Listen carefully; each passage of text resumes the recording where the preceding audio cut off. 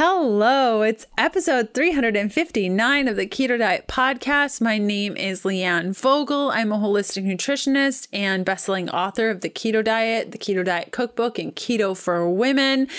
I love talking about keto, and today is no exception. We're talking about fasting mimicking, what it is, how it works, if you could do it or not. And so I'm really pumped to share this message with you.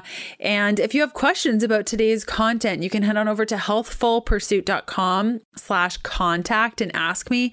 Now, I started my blog, Healthful Pursuit, uh, in 2010. It's been a while. It's been a hot minute. And I remember sitting around the campfire with my dad. We came up with this idea of like the fact that my journey is always changing. And my dad was like, if you call it vegan something, it's going to age out because Leanne, you are never going to stay vegan. And I was like, Dad, as if, of course I'm going to stay vegan. I love this. This is the answer to all my problems and uh, then I went keto literally three years later. So, so I'm super glad my dad had the foresight to be like, don't name it anything vegan. Also, don't name it anything like keto or anything, just something to do with your pursuit. And so we landed on healthful pursuit. Love the name. However, having a business over something that people can't spell or understand, you might hear helpful pursuit or healthy full pursuit. What else have I heard? Just so many different things that aren't healthful pursuit. So if you have no idea how to contact me, just click around in the show notes until you find the links. And on that,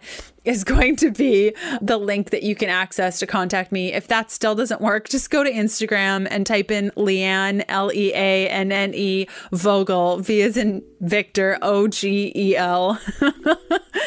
oh, man. So, with that being said, I'm so happy to see you here, and let's get started with today's episode of the Keto Diet Podcast. Hey, I'm Leanne Vogel. You're listening to the Keto Diet Podcast. I've created a free guide with tips on how to start keto and maintain your fat fueled life. Grab it at healthfulpursuit.com slash free as a little thank you for listening to the show.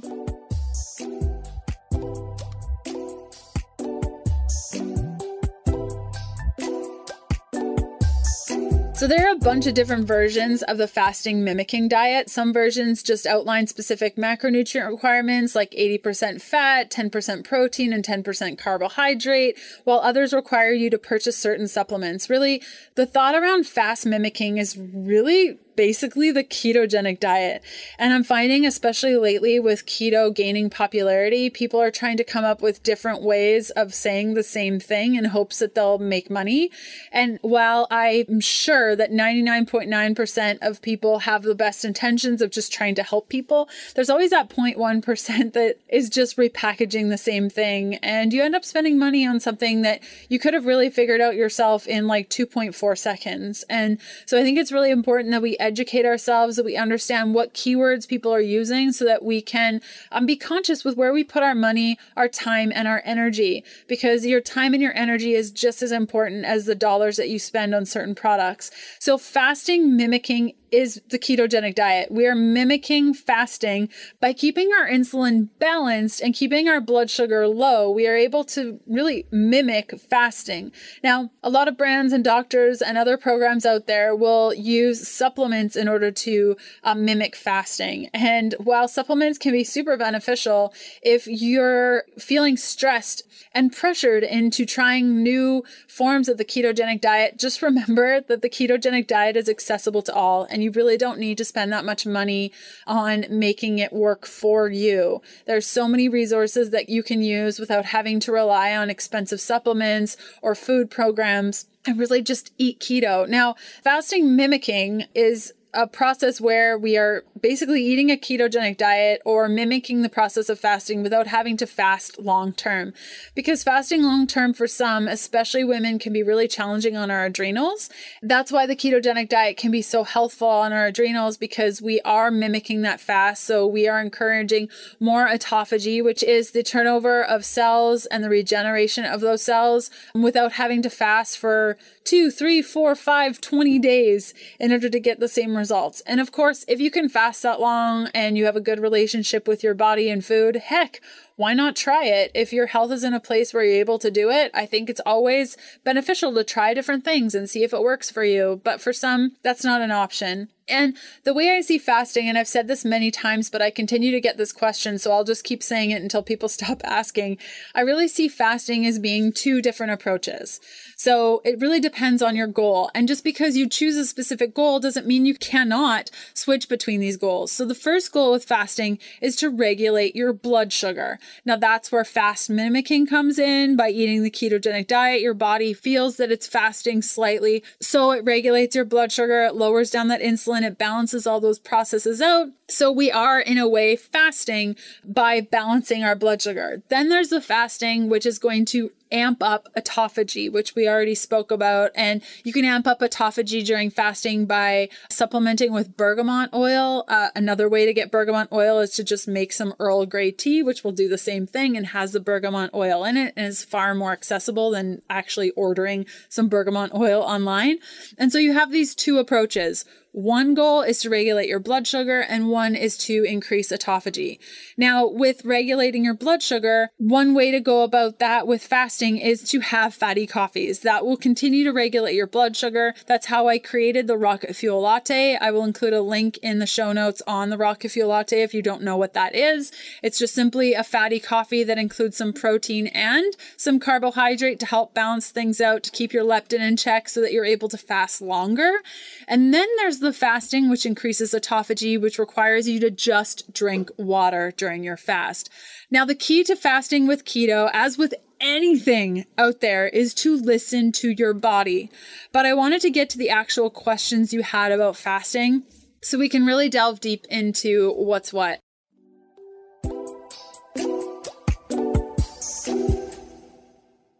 Perfect Keto creates the ultimate products for making the keto lifestyle easier and more effective. Many of their products are dairy free, made in the USA, gluten free, doctor approved, and use zero fillers. From exogenous ketones to boost your ketone levels for mental clarity, MCT oil powder for making your coffee fatty and creamy without the dairy, beauty and sleep collagen, a collagen rich combination of L theanine and magnesium to help insomnia, stress, and anxiety. That also benefits your hair, skin, and nails and so much more. But can we talk for a moment about this beauty and sleep collagen? I'm really enjoying the turmeric coconut latte flavor, an awesome after dinner snack when I just want a little something. With just 40 calories, 2 grams of carbs, and 7 grams of protein, it hits the spot, helping my after dinner sweet tooth and leads to better Z's. Like for real, I took it for the first time in the early afternoon and had to have a nap. Get 20% off anything in their shop by going to perfectketo.com com slash keto diet pod and use the coupon code KDP20 for 20% off your entire order. KDP20 coupon code can only be used once, so use it wisely over at perfectketo.com slash keto diet pod. So here are some specific questions that you had about the fasting mimicking diet. First one is I'm so confused about fasting one meal a day, five to two, fasting mimicking diet, and every variety of condensed eating windows and intermittent fasting. So, one meal a day is where you only eat one meal a day. Now, for somebody who has, or rather can, eat a ton of food in one sitting, this works really, really great. Otherwise, for somebody like me, my digestive system doesn't do good with meals over around 1200 calories, give or take, depending on the volume. I am a volume eater, so I can do a lot of volume, but if I have more than a hundred ish grams of fat in one meal, it makes me feel very ill. So keep that in mind with one meal a day if you're the type of person who likes to eat throughout the day, or if you've tried one meal in one day and felt absolutely sick, this approach might not be well for you. And in an episode that I did with Megan Ramos, I'll include the link in today's show notes. Um, we chat a little bit about fasting protocols and why this might not be a good idea. Then you have the five to two, and five to two um, signals how many days in the week you're either fasting or not fasting, or rather counting calories or not counting calories. There are a couple of ways to do this approach. And so with five to two, basically with the five days out of the week, you are eating a ketogenic diet or however you eat, and maybe following a calorie count, maybe following macros. But the key here is that you're eating a ketogenic diet, at least for those that are keto. I think the five to two also applies for people that aren't eating keto, but you're listening to the Keto Diet podcast. So we're going to focus on keto. So five days you're eating keto and you're eating to satiation. Two days you're either fasting fully and not eating, or you're restricting calories immensely. So maybe you're having 500 calories in the day, 700 calories in a day. It really depends on what program you follow to determine what those rules are. I've had friends and clients also try this eating style. I haven't heard of anyone having success with it, but that's not to say that that doesn't exist because I'm only one human talking to a select group of people. Uh, now, with uh, one meal a day, you're really practicing that autophagy process. So, of the two goals I talked about in fasting at the beginning, one meal a day, you're encouraging autophagy. Five to two, you're doing five days of blood glucose regulation, which is the first goal that we talked about with fasting. And then those two days, you're relying more on autophagy there. Then we have the fasting mimicking diet, what we chatted about. Really, I see fasting mimicking as being exactly just eating keto every day. I know that there are supplements and programs out there that change things, but fasting mimicking is the ketogenic diet. So I hope that that was uh, helpful in explaining um, things, and you're able to see that all these different sorts of fasts really lead into the two different goals. Do you want to regulate your blood sugar, or do you want to do autophagy, or do you want to do both?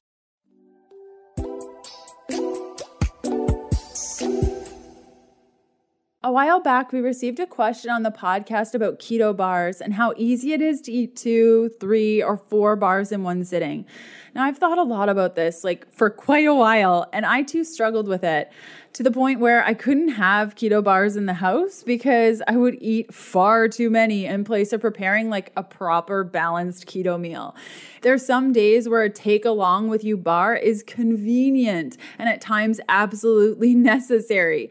So I started looking for an alternative, something more balanced and a bar that would deliver nutrients, not just a balance of macros, where my body would be satiated by one and not in search of more and more and more. Like I think one time I had had six keto bars in one sitting and I didn't feel so good after.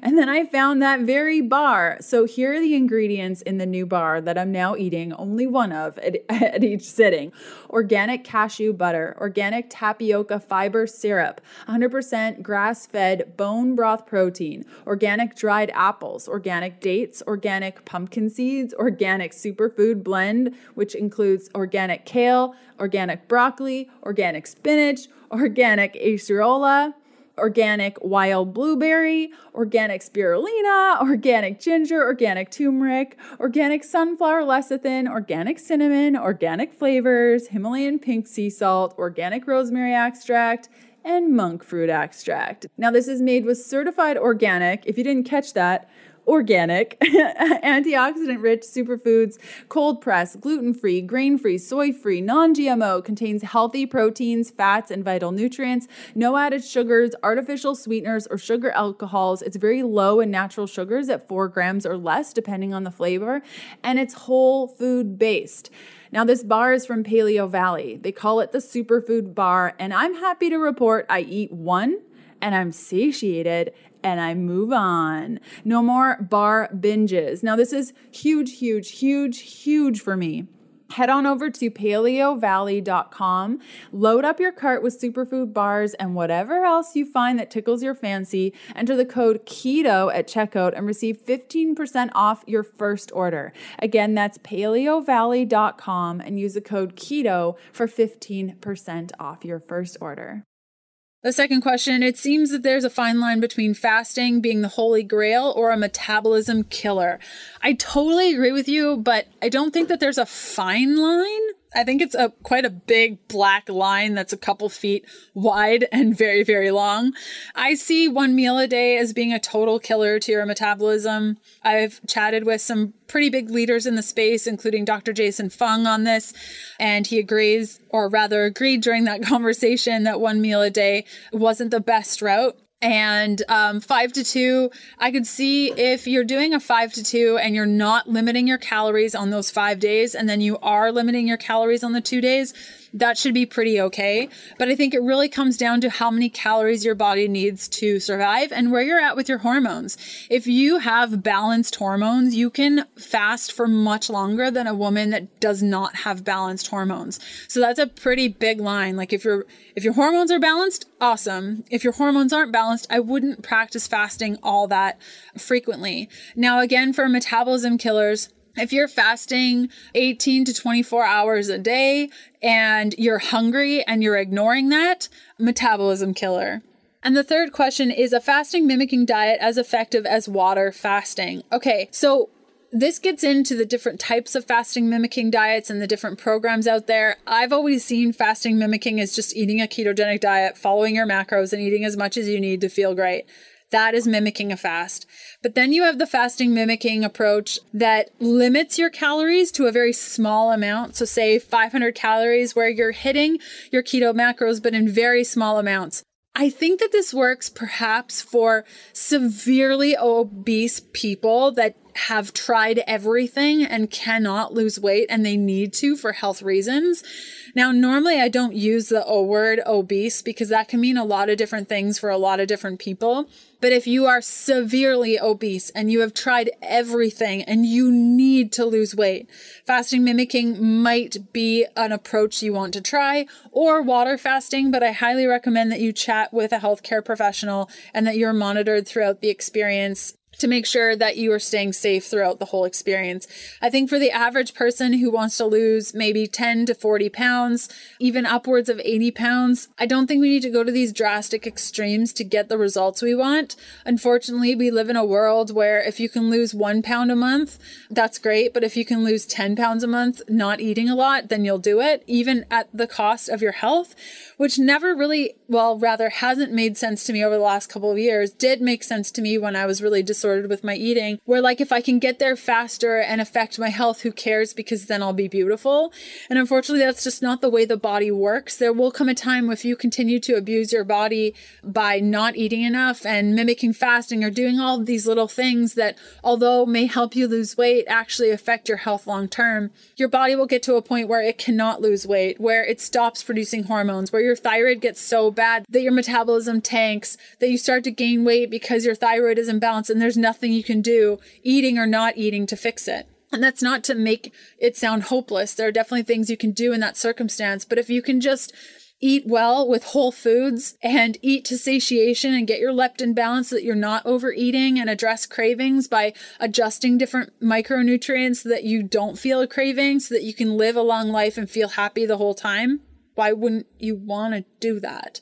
I hope that helps with the question fasting mimicking diet as effective as water fasting. And if you have more questions about fasting or you want to learn more about fasting, you can head to episode 94 that I did with Megan Ramos. I hope you had a blast. Again, you can reach out to me on Instagram at Leanne Vogel. I'm excited to see you on over there. And I will see you back here for another episode of the Keto Diet Podcast next Tuesday. See you then. Bye.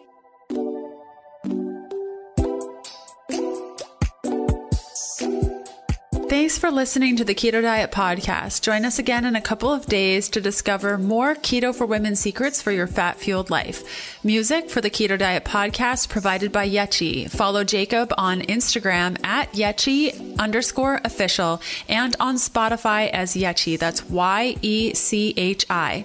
The Keto Diet podcast, including show notes and links, provides information in respect to healthy living, recipes, nutrition, and diet, and is intended for informational purposes only. The information provided is not a substitute for medical advice, diagnosis, or treatment, nor is it to be construed as such. We cannot guarantee that the information provided on the Keto Diet podcast reflects the most up to date medical research. Information is provided without any representations or warranties of any kind. Please consult a qualified physician for medical medical advice and always seek the advice of a qualified healthcare provider with any questions you may have regarding your health and nutrition program.